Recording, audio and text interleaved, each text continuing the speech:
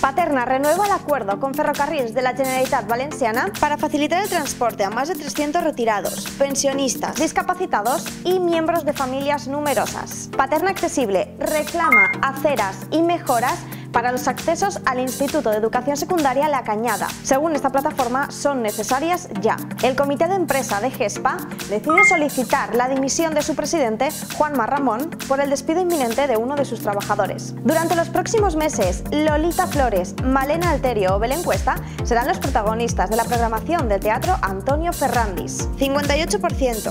Ese es el número de turistas que aumentó en Paterna gracias a la Cordá. El próximo martes veremos qué piensan los vecinos del municipio sobre estos datos con el lanzamiento de un nuevo Paterna Habla. Que paséis buen fin de semana.